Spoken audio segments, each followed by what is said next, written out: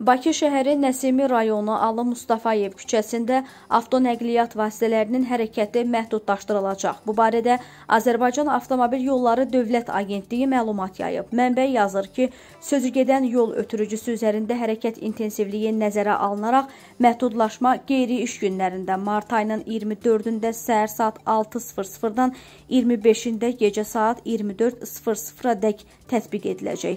Qeyd olunan müddət ərzində sürücülər ziya Bünyadov prospektindən 20 yanvar dairəsi istiqamətində köməkçi yoldan istifadə edərək hərəkətlərinə davam edə bilərlər.